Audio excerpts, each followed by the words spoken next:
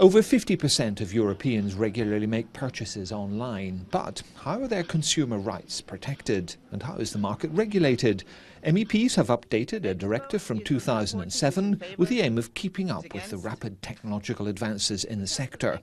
Apriamo il mercato altresì a nuovi operatori e riduciamo i costi di un sistema troppo frammentato e caro il cui costo complessivo oggi ammonta a circa centotrenta miliardi di euro l'anno. Everyone is familiar with PayPal, but how many people know Trustly or Sofort, the Swedish and German counterparts of the American online payments giant? The new rules are meant to help new payment providers emerge and push them to be innovative. We've managed to break open a little bit uh, the market. Uh, that is good for the economy, it's good for innovation, uh, it's good for e-commerce. Another aspect MEPs have considered is security for consumers, especially data protection. Un texte qui fait progresser les droits des consommateurs.